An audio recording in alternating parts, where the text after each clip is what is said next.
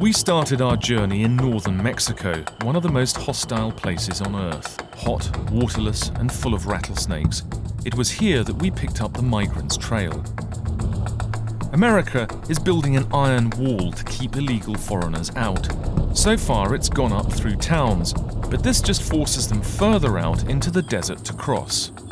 We're driving to San Miguel Gate, one of the lonely posts along the border between Mexico and the States. And we know that this area is frequented by drug gangs that are smuggling narcotics as well as people across the border.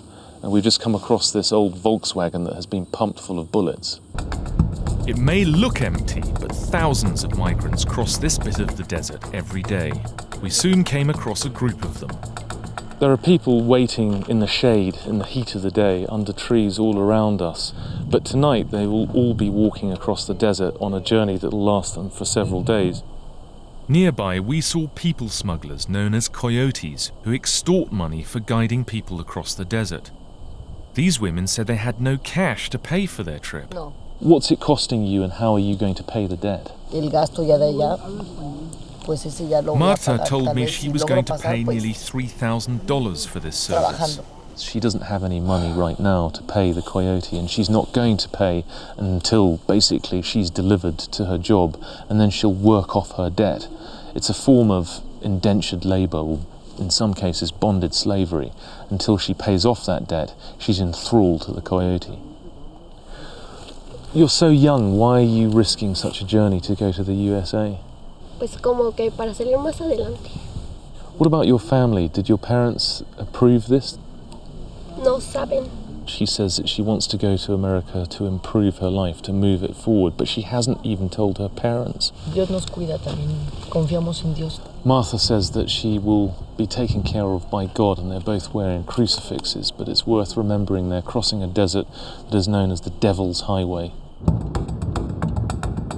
As we drove through a maze of tracks, we found signs everywhere of a huge human trafficking industry and its tragic consequences. We've just come across these monuments to the children and the more than 2,950 people who have died in the desert. Now it's a lot more than that, and families. Um, it says how many more will die in the desert. Every year, more than a million people try their luck up roads heading north like this. And this is a van that is taking people up to the border. These are migrants who are going to be crossing the frontier into the US.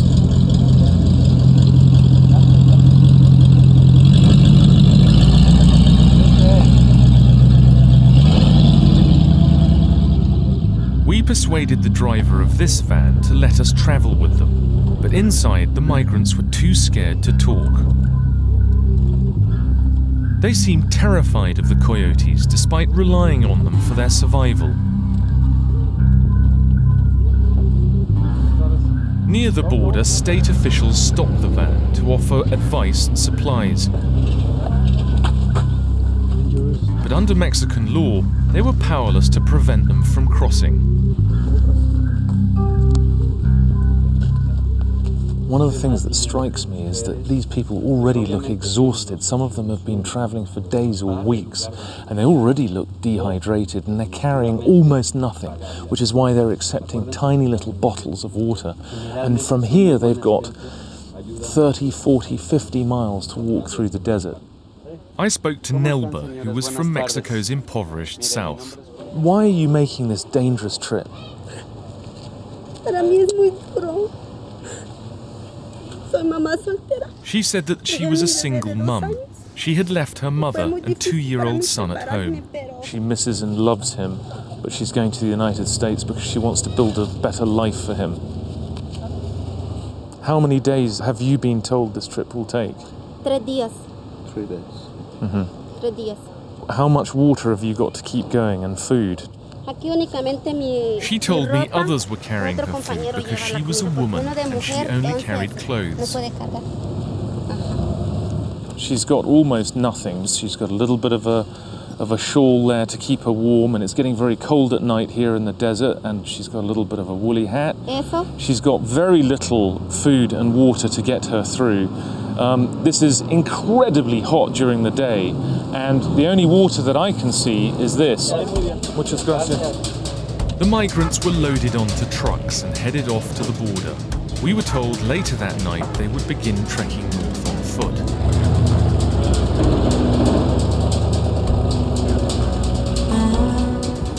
We followed them out into the desert in the hope of seeing where they would actually cross the border.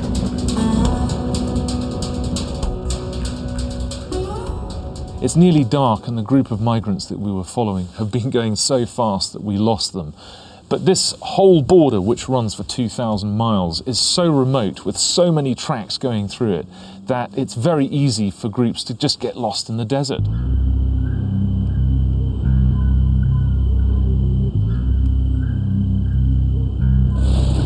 I crossed the frontier into the US the legal way. I heard migrants faced untold suffering on their journey, and I wanted to find out about the human costs of the Devil's Highway. British.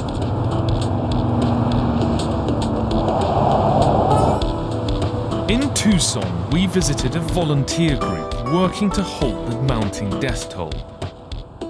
This is what they call a death map. It shows the distribution of people who have died while crossing the desert. On average, since 1993, about one a day has died.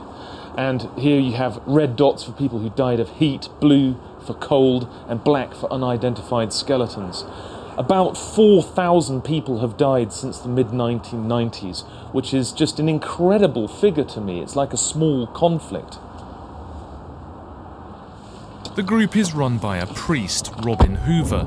He wanted to show us Arizona's Badlands, where 300 bodies were recovered last year. Oh, I found an 18 year old girl out here. Long black tresses stuck to her scalp, uh, no flesh, open rib cage, been eaten by the animals. Robin puts water tanks along the most heavily used migrant trails. It has been uh, such a heavily used station through the years that we maintain three barrels or 150 gallons of water here. Approximately. So, this is one of the water stations. Water had just dripped here in the last few hours, or it wouldn't be, the soil wouldn't be that color. How many cross at the peak per day? There are days when there are probably four to five thousand people out, out here on the ground walking. I wanted to know if the death toll was linked to America's stricter border controls. What is the humanitarian consequence of that on what happens around the desert? Every single time that we add uh, more personnel or add more technology, then the migrants are forced by, if they're going to come at all, they have to go more circuitous routes, be exposed to the elements for longer periods of time. Uh, they tend to die. Only bodies actually recovered from the desert are included in the official figures. Nobody knows the true death toll. We've come to the county medical examiner's office in Tucson. When bodies are recovered from the desert, this is where they're brought for post mortem examination.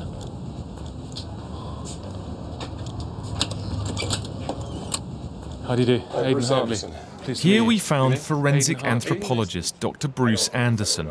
He was examining the latest victim to arrive from the desert. What, what do you know about this case? Well, we know it's a woman. She probably lay out on the desert floor for, oh, six months. She's probably not more than 5'2, 5'3. She's in her early 30s. How common is a case like this? This happens every day in the summertime. Uh, we've averaged about 175 deaths a year. But it's a horrific death. We've heard it's horrific. We know from uh, uh, both reports from survivors and, and the condition of the bodies that people will shar- start shedding clothing. They will start running through uh, thorns and thickets and cut themselves up. It's not uncommon for people to hang themselves. And the assumption is that anything was better than what they were going through and they took their own life. In the, in the time that you've worked here, what has changed? Well, the sheer number of border deaths have gone up. It's a mass disaster. We're inundated with information, both dead bodies and missing persons reports. And the case here is a young woman who probably was healthy. Uh, she shouldn't be dead. She should be alive. She should either be home with her family or she should have got to the place she wanted to go. But she shouldn't have had to lose her life crossing a very dangerous part of the United States uh, border. Migrants risk their lives to escape poverty. They do the menial jobs America's economy needs to keep going. But without documents, they must live underground. I've been trying to talk to people who are working who don't have papers, but it's very difficult because they're very afraid, and their employers are as well, because under new laws they're going to be penalised if they employ people who don't have papers. Finally, in the dead of night, a woman agreed to talk to us in the restaurant where she cleaned up. Nearly half a million migrants were deported last year, but there are up to 20 million Latin Americans already living in the US without papers. So, Luida, why did you come to the United States? She said she wanted to help her family because they were poor. She also revealed gang violence at home in Guatemala had claimed the lives of two relatives. But she now has two children here, both a seven and a three year old, and they were born in the USA, and so they have a right to stay here. If she was caught, however, she would be deported immediately. In Phoenix, we heard the authorities were cracking down on illegal migrants. This has sharply divided opinions and polarized the city. We're on our way to a place where we're told a demonstration is taking place, held by migrant workers outside a Phoenix furniture store. America's Congress has rejected proposals to give amnesty to illegal immigrants already in the USA. Demonstrators were protesting against what they saw as victimization. We are not criminals, that we are the community, and we are the ones who make this community stronger. This is a legal demonstration, and there are only a couple of hundred people here. Apart from raucous Mexican music, they're very peaceful. But what's surprising is the show of force displayed by the number of police cars here and the men in uniform, this being America, all of them armed. But then there is an enormous standoff taking place now between the immigrants and the very controversial figure of Sheriff Arpaio. Ku Klux Arpaio! The tough talking sheriff has been rounding up illegal workers. So, why are you arresting only those that are illegally and not criminals? They are criminals. They are criminals. They cross this border, they are here illegally, and you can get six months in jail. And now the federal government is thinking, I'm, I'm glad they listened to me, they're going to arrest people coming across that border and put them in jail. Arpaio insists America should boot them all out. The migrants hate him, but his actions have won him popularity among a majority of local voters. I have a job to do. I'm the elected sheriff. I don't care about these uh, people that call me every name in the book. You can't really deal with the problem by chucking all of them out. Well, actually, I think we could. Uh, this is a great country. Uh, we have a lot of money. I'm sure we could hire a few buses, go state by state. I'm sure they could load up the buses and spend some gas and take them to Mexico. What, deport 20 million people? Well, I don't know about the 20 million. You don't have to deport 20 million. The day you say, everybody illegal, we're going to load up the bus, I guarantee you, they'll all leave anyway. We heard that people trafficking had become mixed up with narcotics gangs who preyed on migrants and made the job for US police even harder we headed to the Drug Enforcement Administration's office in Tucson, which seizes nearly half of all marijuana entering the USA. Watch yourself here. Oh, is, is all of this marijuana? Yes, there's about, this is all bulk marijuana, there's probably about 50,000 pounds here right. at, at, any one time. This one is 50 pounds. 50 pounds. Okay, this will be two of these bundles. Right. I'm putting 50 pounds of marijuana on my back. And it's pretty heavy. Can't even get it on, actually. Some trafficker says you want to get to Phoenix or to some destination location. Here's a 50 pound backpack. Put this on your back, carry it for 20 miles, and then there's a possibility that we'll meet you at that end and then transport you the rest of the way. So this is the price of admission into the United States. This is the human exploitation part of the business that we get into. It's very, very sad. With ruthless drug gangs moving to control the human traffic, migrants face an even more dangerous journey.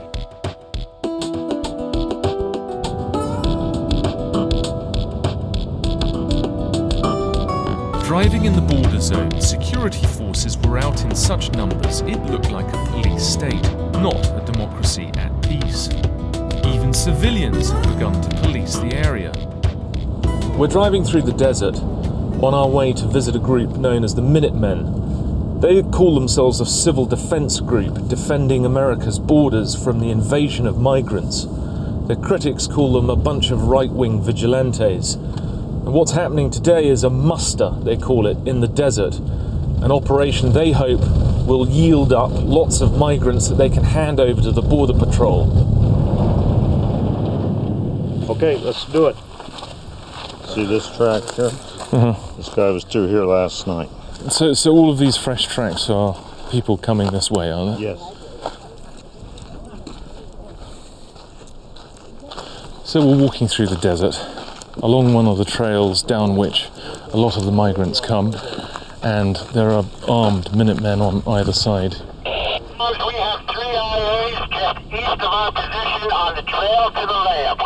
The Minutemen's plane spotted illegal aliens, or in their jargon, IAs. 10-4, they're spotted one with bla- black clothing on at this, t- at this point. From the aircraft, they spotted one. And hopefully uh, they'll be able to uh, track these individuals here that uh, we're seeing uh, carrying large backpacks, which we suspect are probably carrying drugs.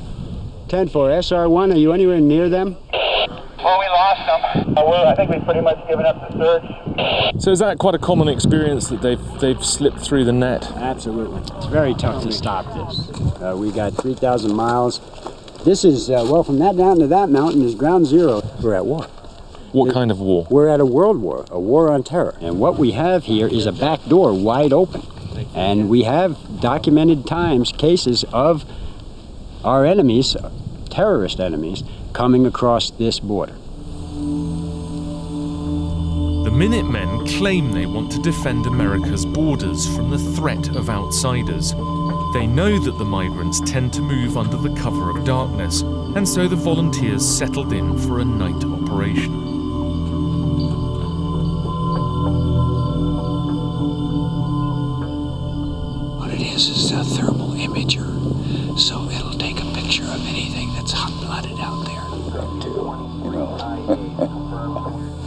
Up top or upper left. It seems to be a very active night. Uh, there's a group of about 10 people that has broken off down the hill, and the Minutemen are observing them from different posts. They've called in the Border Patrol. Minutemen don't arrest migrants, they'll track them until Border Patrol arrives. On the thermal imaging monitor, we can see th- three figures returning through the desert. That may be two border patrol and one person they've captured. All I understand is that they are on the run. Is that correct? That is correct. Did the rest get away? Out of a group of 10 migrants, Border Patrol agents caught just this one, while the rest got away.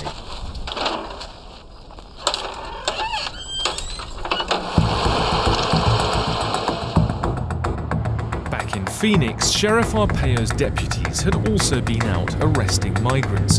They had stopped a vehicle packed with 12 people, including a small child. And this is what happens to the ones who get caught. The migrants would now be processed and deported. You can just see the, the, the, the kid sleeping with his mother there. I wanted to talk to these people who looked exhausted and terrified. How long did it take you to cross? Hmm, Dos días. Why was it a, a memorable experience? Pues la miedo de morir, porque es experiencia bien, bien dura, pues. He says it took two and a half days to cross the border, and, and he said that he, it's an experience he'll never forget, that it was dangerous, that sometimes he felt that he wouldn't be able to go on. La verdad, este, yo siento algo que He said this comes from the heart. He thought it was unfair that he'd been targeted when he only came to the US with the best of intentions for a better life and to work.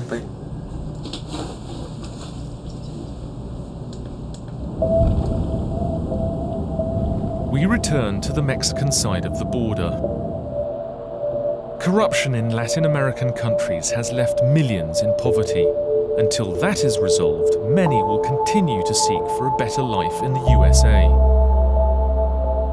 The wall has become a tragic symbol of division between rich and poor worlds. As we watched, US agents were deporting yet more migrants. These people coming up behind me have just been deposited back across the border in Mexico. There are buses arriving day and night. There are literally thousands of people being returned across the border. Tardes. Yeah. Buenas. Buenas. Hello. How many days did you walk?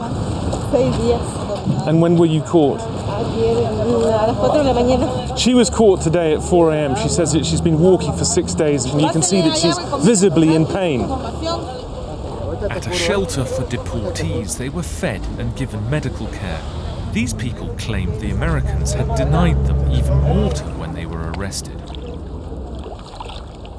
Here, while these women are having their feet treated, there's a gang of coyotes over there waiting to pounce as soon as they come out of the centre to offer them a route back towards the United States.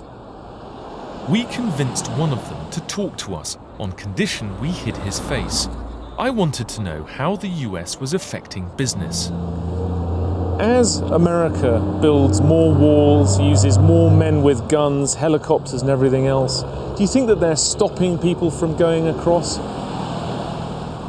No creo que siga parando la gente. Pues como nosotros, como le digo, de varios viajes que yo, yo he He told me that he's been across about 20 times and he's only been caught twice.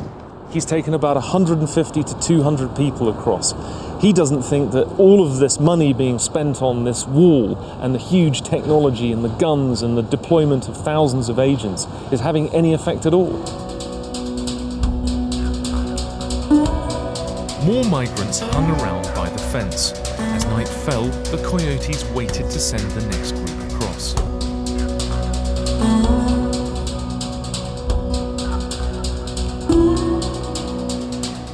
Militarization of America's border has failed to stem the flow of migrants, but stricter measures have pushed them into the hands of violent drug gangs and farther out into the waterless desert, causing untold human suffering.